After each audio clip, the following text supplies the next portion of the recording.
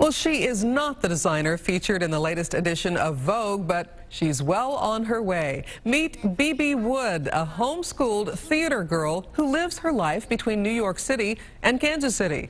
She also likes to design and make her own clothing. Now, following her parents' generous example, she has learned the art of giving back. So tonight, she's combining her passions and hosting her own fashion show to benefit Broadway Cares Equity Fights AIDS.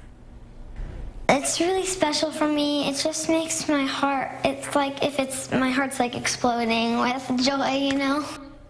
The fashion show just kicked off at 6 o'clock, and we'd hope that Bebe will show us that a trend is starting, and that trend is setting success.